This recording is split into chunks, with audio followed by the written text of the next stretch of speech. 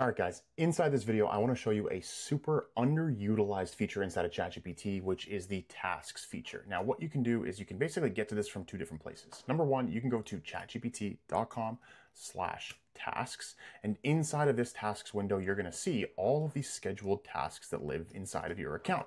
Now, the reason that we're looking at setting up scheduling tasks or scheduled tasks is because you can essentially turn ChatGPT into a personal AI assistant that will do things on a recurring schedule for you, which is amazing. It's such a great way to leverage the power of what ChatGPT can actually do. The other way to get to it is if you scroll to the bottom, you'll see your icon. You're going to click that and you will click on settings. Now inside of settings, you will see schedules on the left hand side. From here, when you click on manage, you're going to be taken to the exact same page.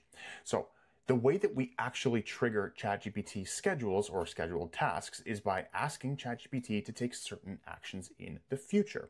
So what we can do is we can do this a number of different ways. We can pop open a new chat and we can just say, hey, can you please get me the latest AI news from the past, let's say 48 hours?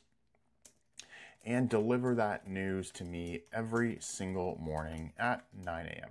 So now what's going to happen is ChatGPT is going to run, it's going to understand what you're looking for, which is the latest AI news from the past 48 hours, and it's going to understand that we're actually asking for it to deliver that to us every morning at 9 a.m. Now, this is great because now not only do we have to, now we no longer have to actually ask ChatGPT manually to get us that information. We can just set this up once. And every morning at 9 a.m., what we're going to get is an email that says we have the task completed and there's a new message for us to review, which will be the results. And then we're also going to be able to have a conversation with that ChatGPT response. So we're going to basically have two sides of it there. Now, as this happens, you're going to see, right, send daily AI news brief at uh, daily at 9 a.m. Got it. I'll send you a quick AI news brief every morning at 9 a.m. Here's your roundup from the last 48 hours. So it set the scheduled task for us, which if we click on edit, we can actually now change the details of this scheduled task. And so we can actually change the frequency, we can change the time, and we can change the instructions. So you're seeing here, search the latest AI news from the past 24 to 48 hours, send me a concise morning brief with the, with with uh, five to eight top items. So what's actually probably better for us to do here is either set this up on a custom where we set the specific days and times, but I'm actually going to go back to daily at 9 a.m. and I'm only going to make this 24 hours because it's not going to make sense for us to get 48 hours if we want this task repeated every single day. So we're going to save that. But what's nice is that it's also actually answered the question for us right now because I've asked the question. So it knows that tomorrow at 9 a.m. it's going to start running this task, but right now it should also answer the question for us. Got it. I'll send you a quick AI news brief every morning at 9 a.m. Here's your roundup. Google launched Pixel 10.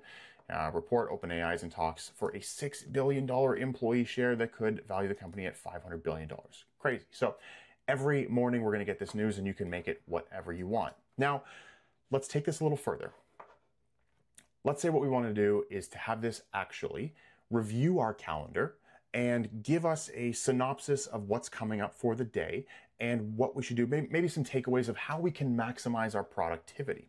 So now what we're going to do is we're going to basically pair two incredibly powerful ChatGPT features. The first one is the tasks, which we're looking at now. And the second one, again, if we click on our name and we click on settings, we're going to look at connectors. So now what you're going to do is you're going to connect your Google Calendar. You can also connect your Gmail if you want. In this test account, I'm only connecting my calendar. So what you're going to do is you're going to click on, it'll look like this, Gmail, connect, right? This is what your, your Google Calendar feature will look like if you haven't already connected it. So calendar, connect, or in my case, manage. Now you're going to have this option to check, and I would recommend always check this on so it automatically will reference your calendar, but it'll only do so when you specifically ask.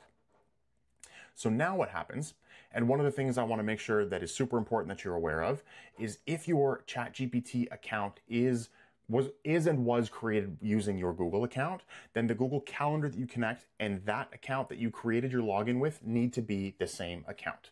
So basically what we can then do is we can say, okay, let's start a new chat please give me, or let's say every morning at 8.15 a.m., give me a briefing on the day ahead, all my calendar events, and a few, let's actually do one more thing. Three key ways that I can stay incredibly productive and one big motivational, let's say, quote that will fuel me for the day. Now, remember what's going to happen. It's going to run this and it's going to give us the output of everything happening today. And then it's also going to schedule this task for us so that every day starting tomorrow at 8:15 a.m. it's going to give us a full brief by checking our calendar events three key ways that I can stay incredibly productive, and one big motivational quote for the day. So it's basically just going to give me this little synopsis of everything that's coming up for the day. And it's going to do so by basically referencing everything inside of your Google Calendar, which is amazing. And in our case, if you're somebody who is basically on top of the calendar, then that's good. It's going to, it's going to essentially know exactly how to how to give you the right structure and motivation to really help plan your day around that. Now, the reason why this actually isn't working for me is because in the calendar, it is working. What I should say is that it's not giving me back the full synopsis, is because First of all, I didn't actually ask for it explicitly. Second of all, is all of the events inside of this test calendar that I ran were from yesterday. They they were actually already passed from this morning. So what we'll see here is that I'll actually just ask for it. Can you please also provide me uh, let's say this. Great. Thanks for scheduling this. Can you also please provide me with all this information right now as well so I can see what it will look like.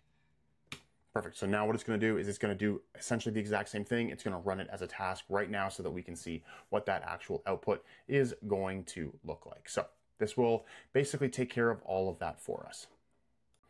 Perfect. So it, waited, it went through and thought for 27 seconds, and now here is our briefing for Wednesday, August 20th, 2025.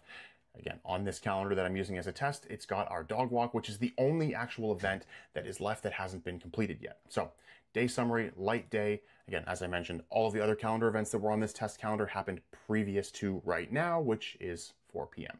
or 2 p.m., not 4 p.m. So again, light day, you've got a wide open runway until the afternoon, then a built-in reset with the dog walk at 4, perfect for two focused work blocks and a clean wrap. So three ways to stay consistent, fuel, and here's your fuel quote at the end. Now, what's nice about this is tomorrow when we do it at 8.15, and if your day starts that early, I would recommend doing this task earlier. It's going to basically look at everything from where you are right now until the end of your day. And if you want to look at your day as a whole, instead of just what's happening now onwards, then you would just adjust that in the way that you're prompting.